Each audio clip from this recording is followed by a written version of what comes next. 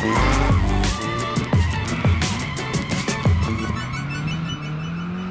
carrying on what you learned with the initiation styles, even after you initiate, you might have to change your line.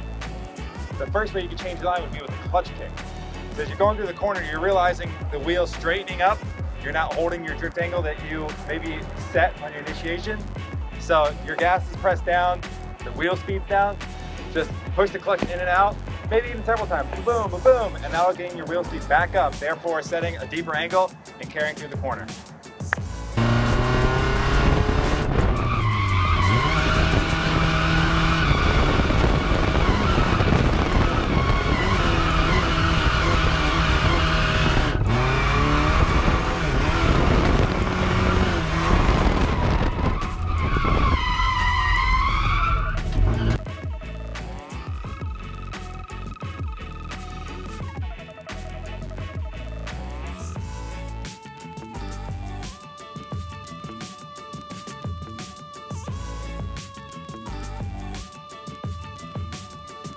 Another type of moderation going through the corner will be resetting with the e-brake.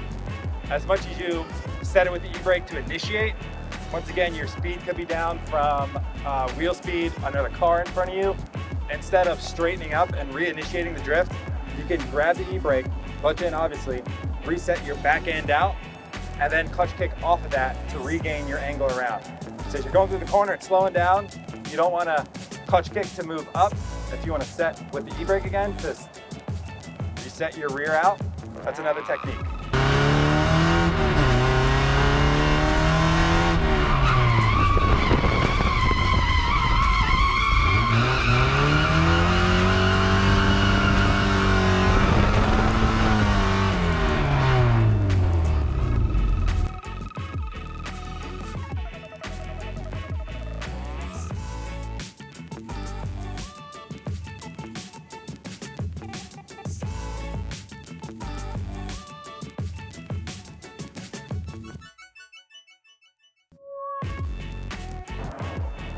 So braking, if you are mid-corner and you're in between maybe a transport or you're setting up for the next corner, as the car's in the rotation, you're not on the gas, you're not on the e-brake. If you're off camber, you never want to brake straight because then you're understeering, it's not even drifting. You can moderate the car with the foot brake, off throttle, off e-brake, clutch not even depressed to slow the car in a slower rotation, but still maintaining drift.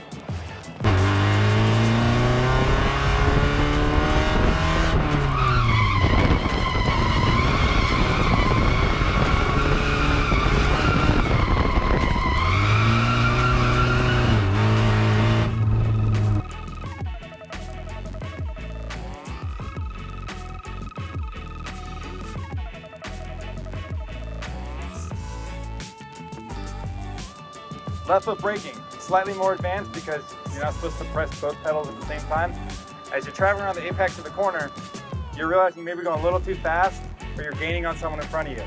Instead of doing a e-brake drag with a clutch in, not on throttle, maybe rest your foot on the brake. That'll slow down the rotation of the car, slow down the, the entire speed of the vehicle so you can maybe close in, also not overshoot your line, let off the brake, transfer, carry on.